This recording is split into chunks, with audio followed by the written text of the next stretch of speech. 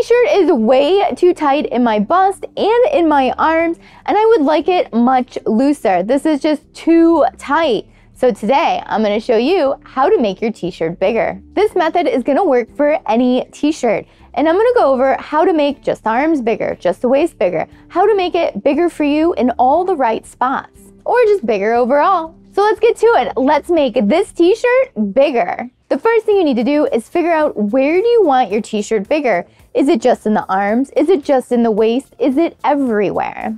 Another method is taking the shirt that's too small and laying it on top of a shirt that fits you great, and then measuring over to the edge of the shirt that fits you great and seeing what the extra is. The first thing we want to do is open up the shirt on the side. This shirt has a side seam, so I could seam rip it, but a lot of times t-shirts don't have a seam here. So what you want to do is take the shirt and just lay it nice and flat so that way it's nice and symmetrical. And then what you're going to do is just cut up the side of the shirt through the arm as well. If you're opening up the arm, if you're just opening up the body, just cut up to the armpit. So like I said, with the seam, you could seam rip this open, but I'm just gonna go ahead and cut right where that seam is.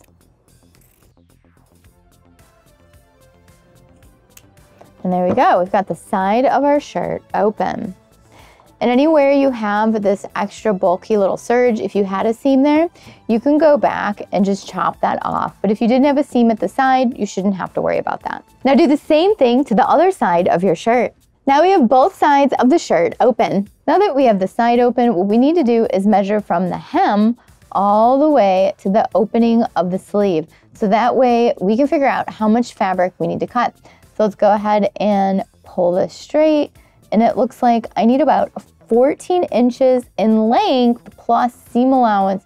So I'm gonna give myself 15 inches of fabric in the length and I want it two inches wide. I want two extra inches here in the side.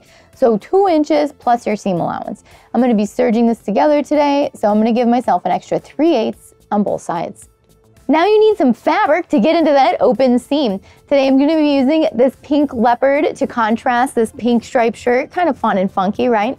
But if you want it to match, you know, let's say you've got a black t-shirt and you need some black fabric. You could take it from an existing t-shirt or you could go to the fabric store and get some fabric that matches your shirt. It's really up to you and what kind of look you want. Now it's time to cut our fabric and I need two pieces of fabric, one for each side of the shirt. The length is gonna be 15 and my width is gonna be two and three quarters. Yours could be different. So I have my rectangle drawn out, 15 inches in length and two and three quarters wide. And now it's time to cut it out. I have my fabric layered, so I'm going to get two at the same time. There we go. Now I cut a rectangle to go from the bottom of my sleeve to the bottom of my shirt. But let's say you don't want to open this up all the way into the sleeve. It's very possible to stop right at the underarm. And then what you would end up with is basically a little triangle shape that you would inset into it. So you wouldn't be having a rectangle, you would basically be setting in a little triangle from the hem to the underarm. So it essentially look like that in shape and you would do this if your sleeve fit you fine, but you needed more fabric in your body. It's basically like putting a godet into your side seam. And if you don't know what a godet is, it's essentially inserting a triangle piece of fabric into a straight seam. Now let's say it fits good in the sleeve, it fits good in the bust, but you just need a little more room in the tum-tum. Well, I'm gonna show you how. To do that, you're going to insert a triangle shape from your waist down to your hem. Now this could be wider, this could be narrower, you know, whatever you need to add to your shirt, but essentially it's gonna blend into your waist and then extend out to your hem. And those are basically the three options you're going to need to make your shirt wider.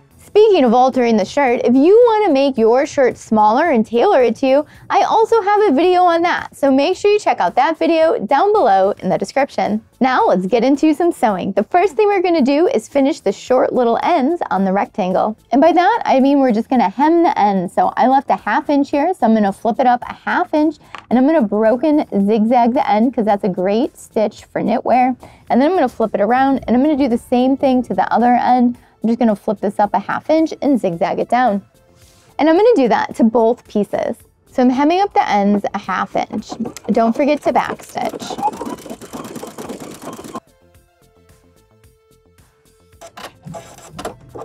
And you can see that broken zigzag stitch there, that's gonna stretch with my knit.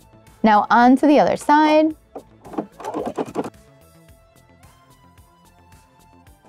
And now do the same thing to the other side.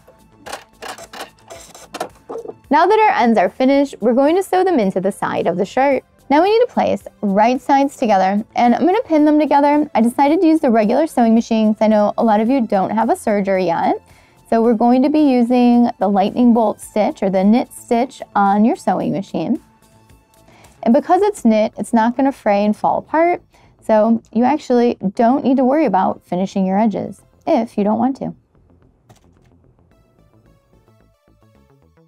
The lightning bolt stitch on the sewing machine is going to allow your fabric to still stretch, so that way when you're moving and wearing it, it's not going to pop and fall apart.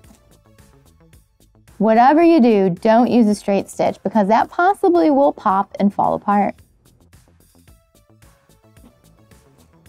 Now that we have that all pinned up, we're gonna take the back of the shirt, fold it onto the front of the shirt, right sides together, and go ahead and just pin up the other side of that rectangle to the side of your shirt.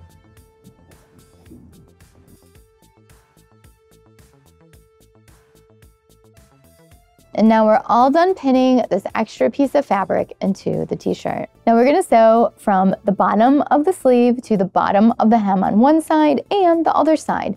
And don't forget your seam allowance that you left. I left 3 eighths of an inch. You could have left more, you could have left less. So if you're looking for the lightning bolt stitch, it looks like that. It's called the stretch stitch, but I like to call it the lightning bolt stitch because it looks like a little lightning bolt.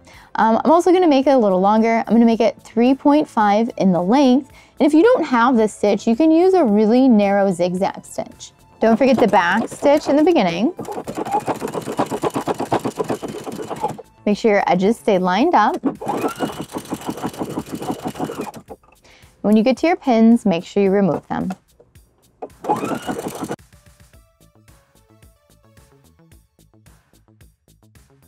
When you get to the end, make sure you backstitch and cut. Now we're gonna sew up the other side of this extension.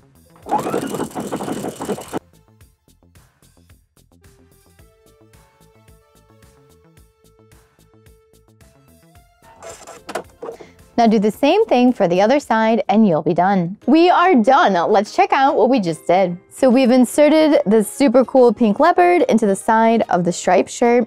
We've matched it up at the underarm so you can see that that lines up beautifully. And then if we go all the way down here to the hem, we've got that hem finished and we've got it lined up and matched up down there as well.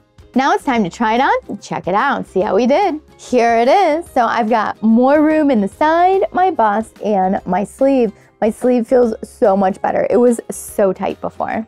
So I use this really fun contrasting fabric, but obviously not everyone's gonna want a contrasting fabric. If you've got a black t-shirt, there's a great chance you just wanna buy a piece of black knit or upcycle another black t-shirt and cut it apart. So that way it looks seamless because if this wasn't contrasting, you would never know it was there. Now this t-shirt isn't too small, it's not too big, it fits me just right.